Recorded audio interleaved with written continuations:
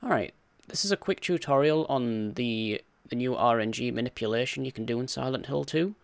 And quite easily, all you need to do is download this chart sheet here, either from the YouTube description or if you're watching on speedrun.com, there's a link right below the uh, video.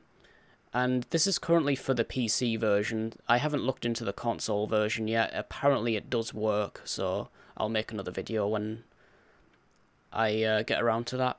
But yeah, so download this, and it'll show you the first 100 frames of different RNG seeds. So all you need to do is have this open, and then start the game. And you want to let the splash screens play out.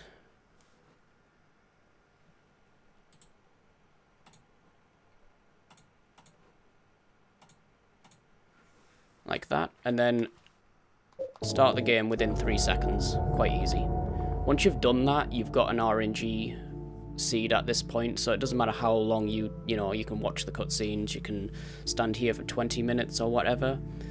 And, um, yeah, once, once you've actually started the game, within three seconds, or like, you know, within 100 frames, which is just over three seconds, because this runs at 30 FPS, um, you then basically need to you know, play up to the uh, the clock, which is when you'll find you'll actually find out which frame you're on by looking at the clock.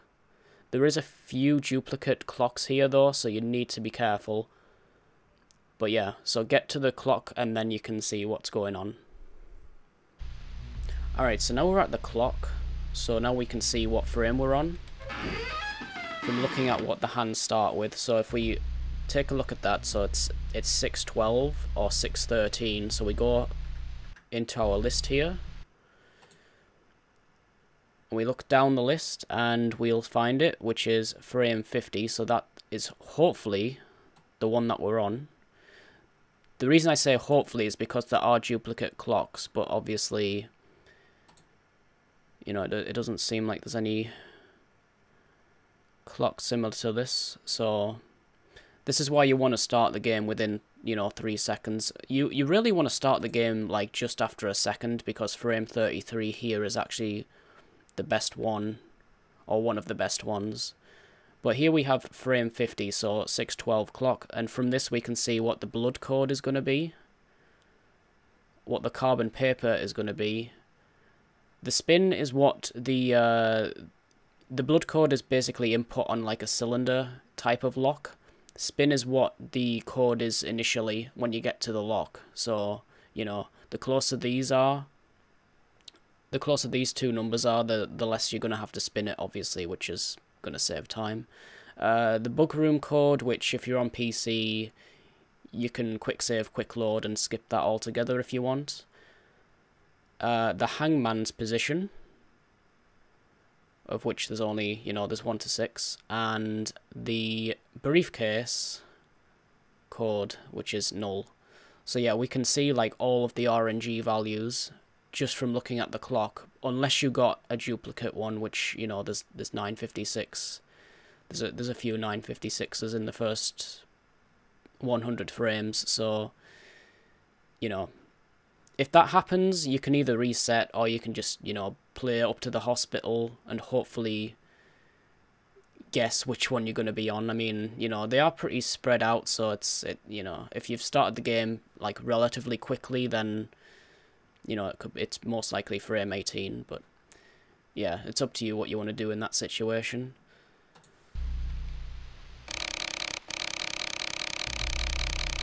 So what we'll do at this point is we'll play...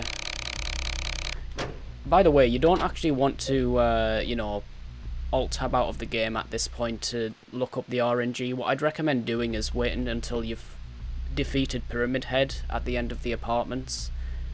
Uh, that'll give you like 15 seconds as he's walking down the stairs, and then you can, you know, look at the... Uh, the chart during that section. So I, I wouldn't recommend like pausing the game for like, you know, 30 plus seconds while looking at the list. You you basically just need to remember what the time was and then look at the clock from there. So One other thing as well, the whispers in this room are actually tied into whether you're getting the uh, position 1 arsonist or not.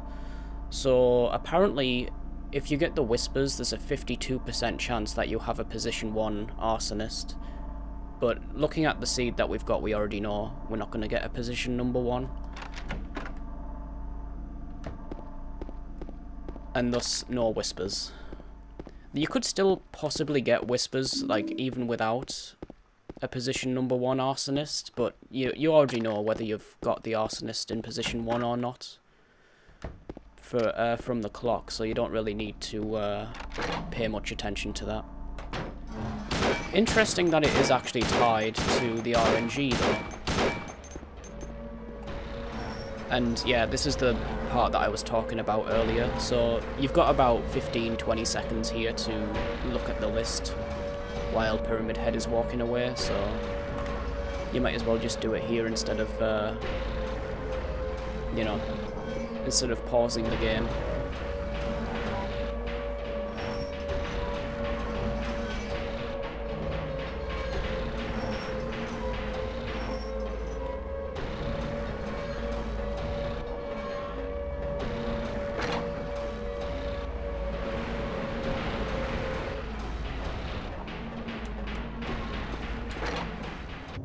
And I'm going to show you the hospital from the beginning. Because, yeah, you don't actually need to look at any of the codes. Well, either of the codes, I mean.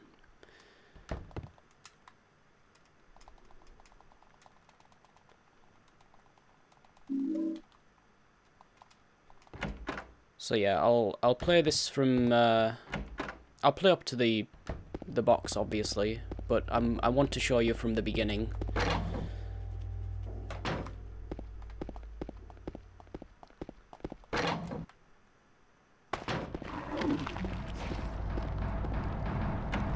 Course, you still need to go to the roof and uh, drop Maria off. So those are actual triggers, you can't skip doing those.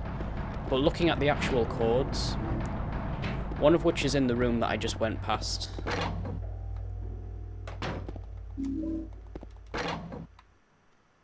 The first code, the carbon code, is actually in this room. But we're not gonna we're not gonna look at it because we already know what what it is. So skip going in there. And yeah, we still we still have to drop Maria off, so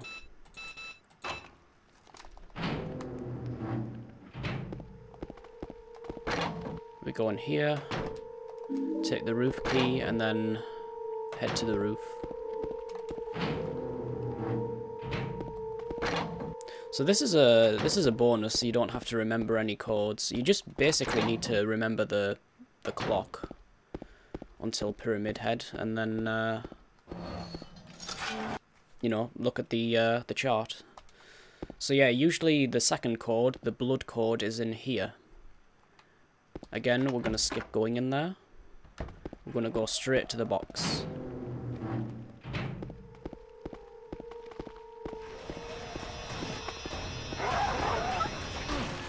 Very nice.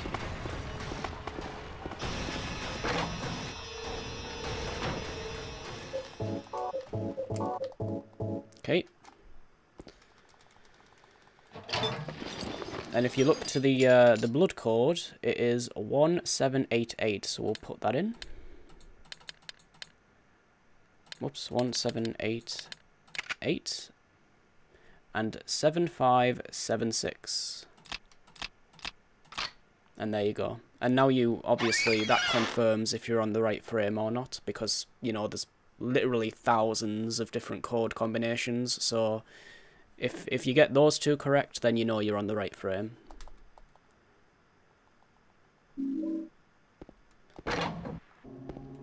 Coming up is the bug room, which uh, if you're on PC, like I said, you can easily uh, quick save, quick load to skip it.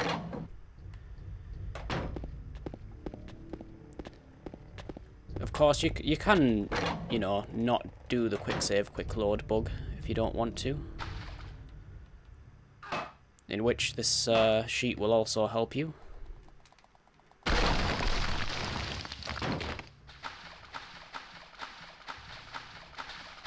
So usually this is a 1 in 6 chance code. There'll be three there'll be two or three numbers highlighted. And the order in which that you press them can be one of six. So use that. Hopefully James doesn't do that too often. And it's 891. There we go.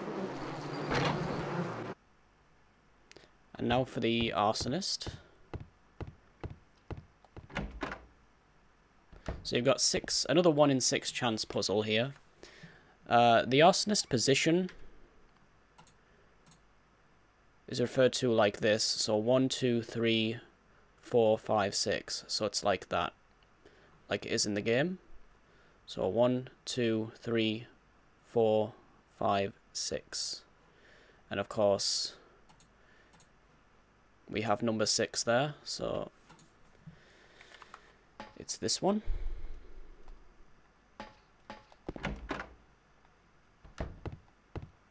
Depending on riddle difficulty, um, you know, it can be... I think it's the thief on hard difficulty, and easy I don't remember, but it, it doesn't matter because this works the same way. It's just, uh, you know where, you know which one it is, like what the position is. But yeah, that's another 1 in 6 chance puzzle, which, um, now you know which one it is quite easily.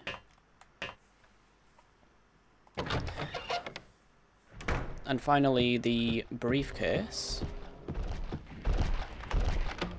Alright, just to prove, well, I unlocked the door there, so yeah, clearly I haven't been in here yet, but I'll, I'll take a look at this as well. So, yep. And we know it's null, so we just go ahead.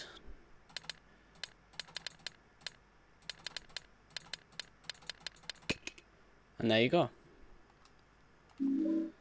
So yep, that was frame 50. Now, of course, you want frame... Frame 33 is a is probably one of the best ones on this list anyway.